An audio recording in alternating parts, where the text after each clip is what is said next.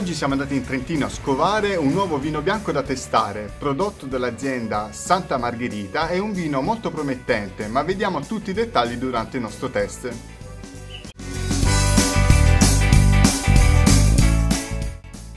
Il vino che abbiamo scelto oggi è un classico Gewürztraminer, Iniziamo la nostra analisi con la valutazione generale dell'esterno della bottiglia. L'etichetta punta alla semplicità con uno stile classico e lineare che conferisce eleganza alla bottiglia.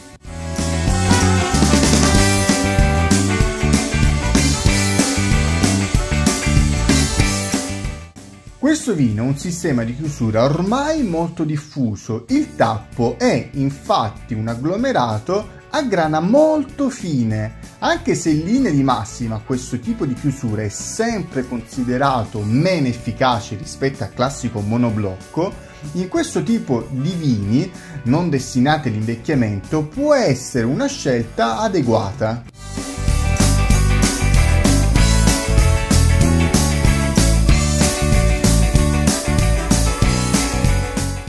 A livello visivo il vino si presenta di un gradevole giallo paglierino senza evidenti difetti legati a problemi fermentativi o di conservazione. Ruotando il bicchiere si nota subito l'elevata viscosità, ottima e anche la trasparenza che si può apprezzare guardando il calice contro luce.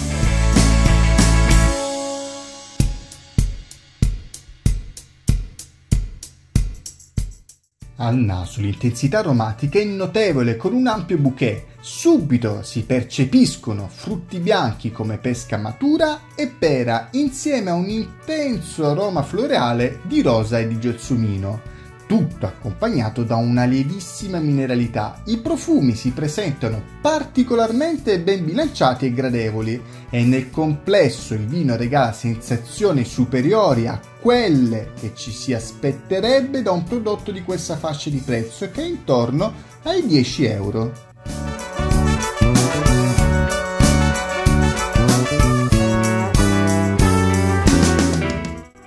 Anche al palato il gusto risulta particolarmente ben bilanciato. La leggera dolcezza di questo Gewürztraminer riesce ad accompagnare perfettamente l'acidità e il vino risulta particolarmente persistente anche dopo la deglutizione.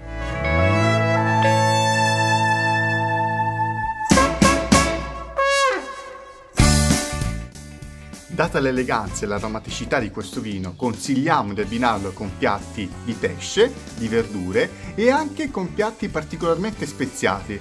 Mi raccomando, seguiteci su YouTube e su Facebook. Ci vediamo alla prossima recensione. Ciao!